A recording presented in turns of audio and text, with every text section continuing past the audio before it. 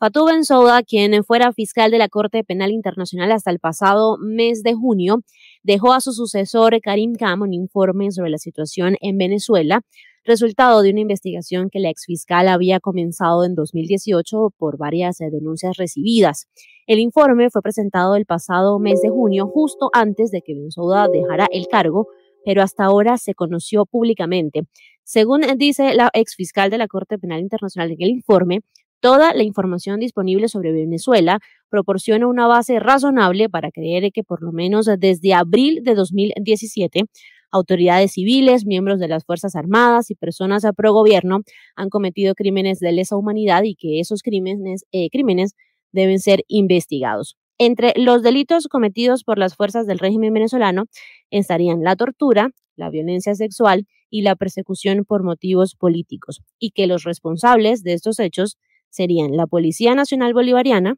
el Servicio Nacional de Inteligencia Bolivariano, el SEBIN, las Fuerzas de Acción Especiales del FAES, la Guardia Nacional Bolivariana, el Comando Nacional Antiextorsión y Secuestro, el CONAS, y otras unidades de la Fuerza Armada Nacional Bolivariana. La respuesta del régimen dictador de Venezuela obviamente no se hizo esperar y desde el Ministerio Público presentaron un comunicado en el que rechazaron todo lo que dice el informe y lo catalogaron como acusaciones sin valor de parte de la exfiscal Bensouda, quien, según el fiscal general de Venezuela, Tarek William Saab, habría ignorado la colaboración presentada por ellos. Sinceramente, nada de lo que dice este informe a mí no me sorprende y creo que a ninguno nos debería sorprender porque he sabido en todo el mundo las atrocidades que el régimen chavista madurista ha cometido durante todos estos años en el poder. Algunos datos que les voy a dar, según la ONG Foro Penal Venezolano, en el país vecino hay 268 presos políticos en este momento. Aquí la pregunta es que si este informe va a servir para algo.